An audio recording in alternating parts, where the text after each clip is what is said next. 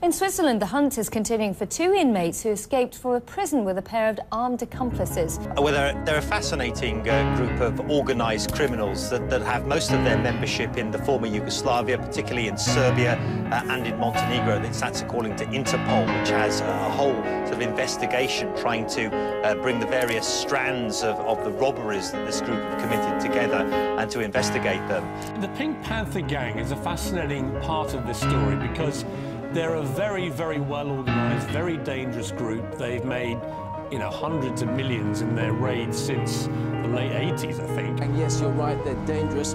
They use the threat of violence, but they rarely like to hurt people, and that's exactly what happened here. Kim Kardashian is said to be shocked by her experience, but physically unharmed.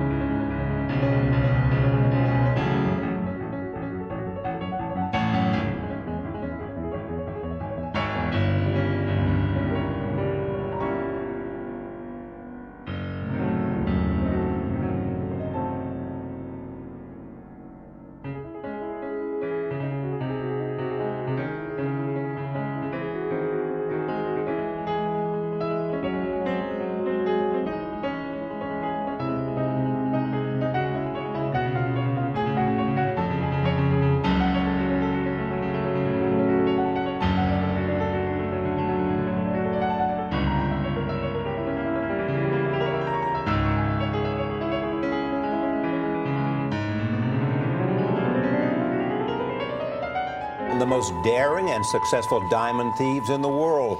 Correspondent Bob Simon learned from Interpol's top cop, Ron Noble, how the Pink Panthers pulled off heists in more than 35 countries. For two decades, they've stolen half a billion dollars worth of valuables. In the last 20 years, they've been responsible for half a billion dollars in robberies. And all that time, there's been one fatality.